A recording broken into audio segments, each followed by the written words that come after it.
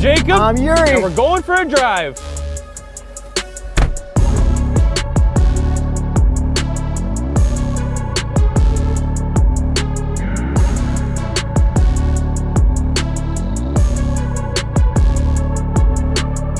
Twenty twenty two Land Rover P530. First edition with launch control. Dynamic launch activated.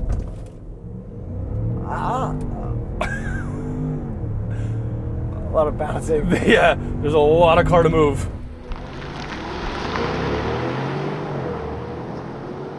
Horsepower and torque. 523 horsepower, 553 pound-feet of torque from a twin-turbo 4.4 liter V8. What kind of V8 is it? It's straight from BMW from the X7 M50i. And it's got BMW logos on the engine. Yes, But, uh, but that's fine. First of all, looks, dude. Look, this looks. well, hang on. Let me, let me just explain that. It does look wild. quickly, Uh, editor, show the looks.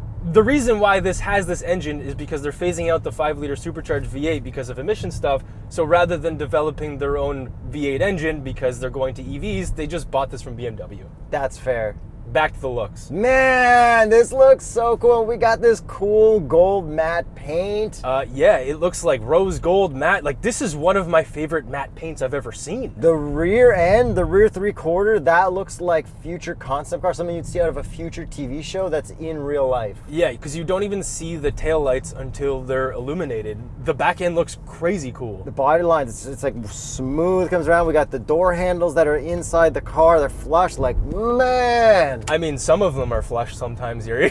And one of the door handles stopped working. It's a it's a Jaguar Land Rover car, like it's, it's expected. yeah, our rear right passenger door has completely stopped working. We have to open it from the inside already. Not completely stopped working. Like you can roll the window up and down from that seat, but, But you I can't from this seat right now, which I should be able to Okay, because I whatever. can roll that one down. Whatever, whatever. Okay, let's get to more good stuff. The looks again. I like how the top is all black and everything. Yeah, this is a gorgeous looking refresh. The front end looks pretty good. Uh, that's the least refreshed part, I would say. Yeah, but then it's like really big and open at the bottom, but it, it still looks really, really, really, really nice. Yeah. I like uh, what they did with the exhaust tips too. How they just like had them pointing down and like flat kind of thing there. Like that bottom black part looks wicked. They hid them in the right way possible without trying to accentuate them. And then these 23 inch wheels look really good in black as well. They, they killed it on this design. And then you can like lower it, raise it, nice, like a good amount of lowering. 10 out of 10. 10 out of 10. And this being the top tier, biggest Range Rover you can buy, it's packed with technology. One of my favorite technologies that's packed into this is the 360 cameras. Normally, you don't really hear me talking about that, but that's because I can press this camera button right now while I'm driving and check this out. We have our cameras while we're driving. It says not recommended above 40, but check this out. It gets even crazier. We can actually Oh my God. drive in third person mode at whatever speed we want and change the angles while we're driving, which again is not recommended, but look how easily I'm doing this. Can I, can I film you do that through Cliche Corner? do it? This is going to be the first cliche corner third person through a camera view ever. Okay, I got it. Okay, I'm going to vary the, the modes for you. All right, here we go. Here we go. You also have to talk about handling through Cliche while you do it. Okay, so it's got a lot of body roll, uh, quite a bit, because we're on air suspension while I'm also trying to change these camera modes. And the traction control definitely is quite intrusive, as expected to be in such a large vehicle like this. But how cool is this? That's that- that is wild that they let you do that, but I guess that's rich people stuff.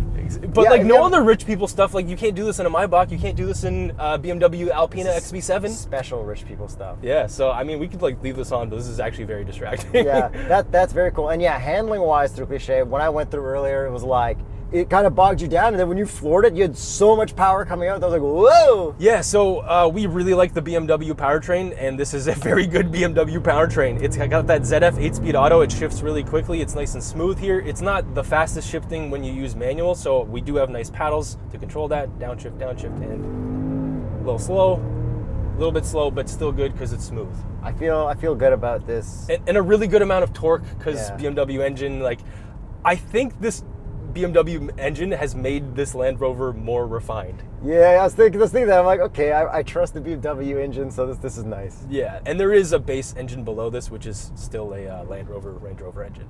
The next thing I'd love to bring up is when you were ripping it, it is so quiet in here. Let's let's do silent mode. Okay, let me just get into the proper gear. It is dead quiet in here. I can't hear like wind going off or anything. It's like so so so quiet. and I'm in dynamic mode uh, because that also changes your gauge cluster. The gauges have all been updated. Everything looks crystal clear. It's very high res. I really like what they did with this. But because this is the first edition, it's based on the autobiography, so this is more expensive than the autobiography, which gives you a ton of features in the back, like motorized cup holders. Okay, Jacob pointed out to me that if the armrest was up and you get in the car, it might take you up to like 30 seconds before you can put your cup in a cup holder, which I think is pretty ballin'. Yeah, I mean, complaining about your motorized armrest and cup holder seems to be a luxurious thing to do for rich people, probably. It's the, my, the first time I've seen a motorized armrest that goes down, and it's pretty cool. You got the tablet there, you got your Coke mirror in there. yeah, so you can drink uh, Coke, Coca-Cola. Oh yeah, but like for real, like having a little portable mirror like that for like checking your face and doing makeup and stuff is better than like the ones that flip out from the top because we gotta like lean forward a whole bunch. Like nah, people Yeah. just this just saves people from like pulling a mirror out of your purse. and then you have a whole large moonroof because of that because you don't have to have that extra little mirror coming out of the thing and then you have rear screens back there which basically just uh, have hdmi ports and that's kind of really it I'm still rear entertainments for cars are still not where I think they should be. Where they should just be a Yeah. literally what you get on an airplane. but we do have automatic peasant blockers back there and i can control it at least this rear left one Here, which I you can, I can make this one go up if I reach over. yeah i should be able to from my side but i can't because it's can't. broken right now There, I put it up. okay so motorized pen- peasant blockers as long as you're back there oh prowler Prowler. That's sick. I drive that Prowler. I should have showed it on the 360. Um, so the back seats are really impressive. However, they're not that large. So the rear right one is the one you want to be in, but because this Is is, it the, though? well, it is still. This is the short wheelbase. There is a long wheelbase. I think you need the long wheelbase if you're taller than either of us. At five foot eight, I assume I'll be able to stretch out in the back of these cars, and Jacob will have a hard time. And I'm always Nope. like, "It's because you're tall. Nobody cares about tall people. Not in this Get car." a longer car, you dumb idiot." Yeah, but even me. I'm like stuck. And then you pointed out something funny that uh, the the bottom foot part goes at a different rate, so your feet kind of get like clamped. You need to move your feet correctly. Yeah, I think what they should have done is do the thigh part first, or or whatever the calf part first, and then the part for your feet. But currently, it's the feet part and then the calf part. So your feet kind of get crushed if you don't move them out of the way. So, Yeah. anyways, it's not that comfortable for me unless I stow the feet Just, part, just sit normal back there. Kind of. But it's still comfortable if, if you're fully reclined, as long as that feet part is stowed and nobody's sitting here. And if you get the extended, you can have a three row, right? Yes, you so you can finally get this in a three row, and then there's also an even more luxurious back seat with a center console that's different than this one that doesn't go up and down but still has motorized cup holders. Motorized cup holders. That's uh, does it fit a small cup? Uh, yeah, it does actually, and the front also fits a small cup. Yeah, pass, pass. Whether whether it fitted or not, it was a gimmick pass for uh, electronic cup holders. Yes, full gimmick pass. Who knows how long that'll work considering the door is already uh, half broken. It's not our fault. no, it's definitely not our fault. Uh, speaking of something else that may or may not be half broken or just the way that it's uh, been designed, this we well we have two Glove boxes. Glove boxes. Uh, if you have a lot of gloves, your bottom glove box pops down. Your top one doesn't. You Okay. unlock it. Okay, so but okay, the bottom one is the gravity it drops down, and then you put it up, and then the top one I pull down, but it the gra- it's got a spring in it to pull it closed. Valid points. However, in a car with a motorized rear cup holder and armrest, Yeah, I feel like it should be motorized or something. Thank you. so I don't know what's going on there. But honestly, those weird things aside, this is such a nice car to drive. One of the nicest cars, especially in this class, that I think we've driven. Like the Maybach GLS is comparable to this. Alpina XB7 comparable to this. This feels ah, very similar, but different in a nice way. Like the materials almost feel nicer here. And this is our first Range Rover, right? Full, uh, first full size Range Rover. We've Yeah. only done the sport before. I've, I've been a little confused by the whole uh, setup of everything. So for me, I'm like, whoa, this is. yeah. I, I didn't really realize what this could be. So the full size Range Rover is like an X7, the Sport is like an X5, and then the Velar is like kind of below that, and then there's whatever else they have. Evoque convertible. Yes, that would be like an X3. Was it? That was an Evoque convertible. Yeah, yeah, yeah. Yeah, Evoque convertible X3 versus convertible. Murano. Review of the year. And this is all-wheel drive. It does have plenty of power from that BMW powertrain. Everything, like I said, is smooth. The suspension is amazing, being air suspension. But let's get you into the driver's seat to experience this all-wheel drive launching beast. And then, do you want to sit behind me or in the front seat? I kind of want to sit in the front.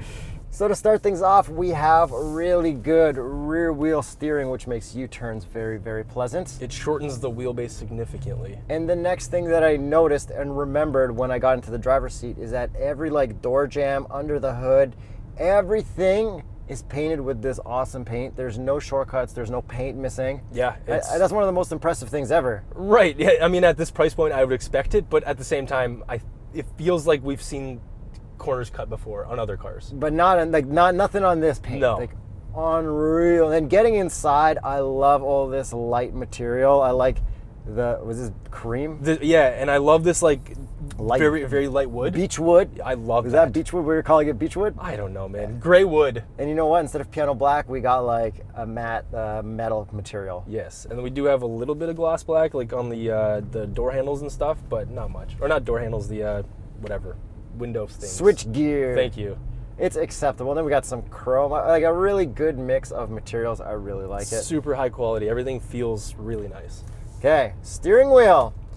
Got these capacitive buttons and stuff like whatever. This is an expensive car. I expect it. I know rich people like that kind of stuff. And part of those capacitive buttons, this has lane keep, and it does work really well on the highway. Not so much on uh, side roads like this. Okay, uh, I'm a little bit shorter. Sometimes I have trouble getting my elbows onto the steering wheel. See, elbows onto the armrest while touching the steering wheel. But I have these other armrests that make it so I can have my elbows on the armrest. Now, while I do like those, uh, if you actually just leave it down, it gets in the way of buckling your seatbelt. So I've just moved them out of the way. Yeah, yeah. But for if you can't get your elbows here, that's Yeah. a great design. It is.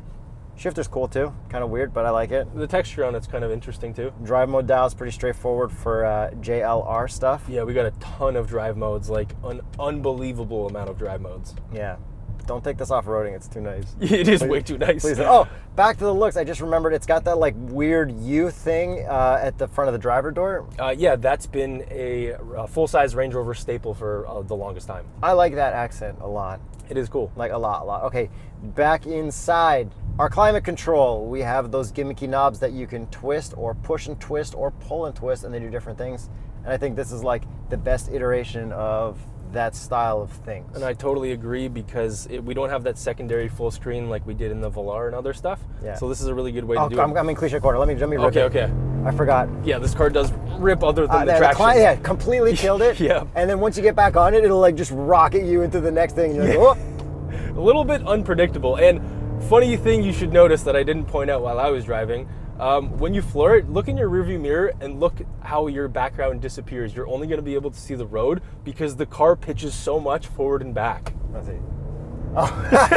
oh yeah, but I can flick it, and then I get this camera here, and there's two antennas there, which looks weird from far away. It looks like it could be like a cop car with a lot of antennas and stuff. But now try that with digital and do the same thing. It still does it. Oh, alas. Well, because you're on a hill. Okay, okay. There, just Yeah. oh yeah, yeah. Well, that's cool. the air suspension is so soft that the front end is just like this when you're driving.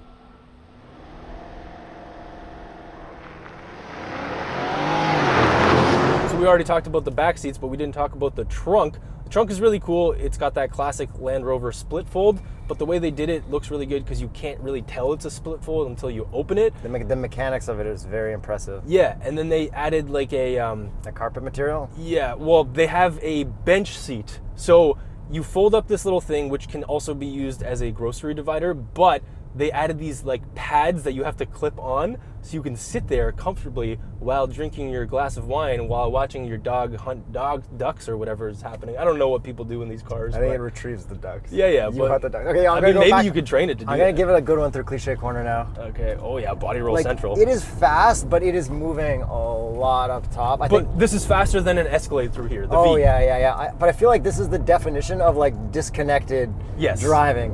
But- you can go fast, but you're just like wrestling computers doing weird things. Yeah, but it's like disconnected in a good way if you don't want to go fast because it's, It's so smooth, yeah, yeah. exactly. It's smooth, quiet, and like Like it's like driving that Bose car probably with the bounce. I, I'm just obsessed with that. I know you are. I just, want a, I just want a car that can jump over speed bumps.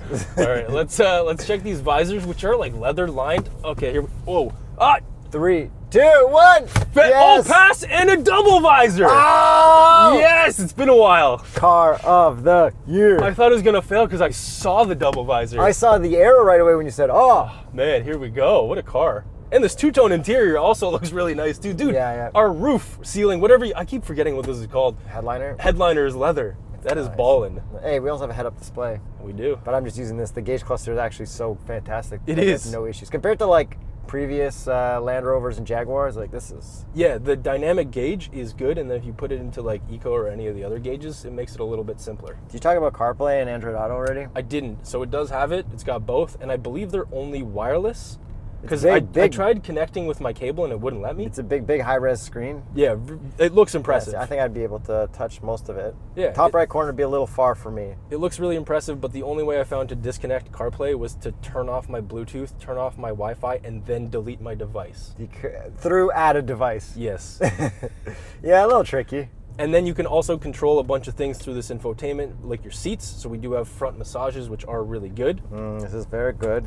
I really like that. And then we have a ton of other options, just like we do on every new JLR product. Seats are easy to customize, and like you get a nice position easily. Much better than those uh, Lincoln seats that we just.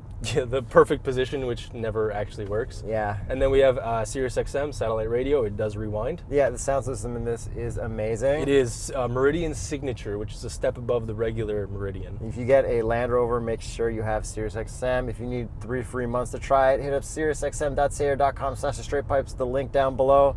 Do not let your SiriusXM expire in a Land Rover. Yes. So with all of that out of the way, I think it's time we get to the price. So the Land Rover itself starts at $135,450. Canadian. And this one that we're driving is $199,070. Dude, this looks like a gold bar driving down the road. It does. Uh, that paint is a $9,400 option, and it's the most expensive option that we have on this car. That is so worth it. This It- it paint is, actually. so incredibly impressive at all times. I know. I normally wouldn't like a color like this, but I love it on this.